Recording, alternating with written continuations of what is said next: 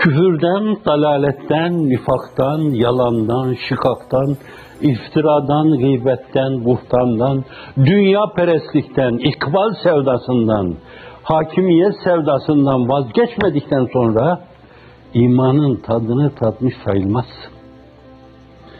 Başka tadlara kendini kaptırmışsan, başka tat seylaplarına kendini salmışsan, akıntılarına kendini salmışsan ve geriye dönmeye de fırsat bulamıyorsan, senin Allah'ı sevdiğinden, peygamberi sevdiğinden söz edilemez vesselam.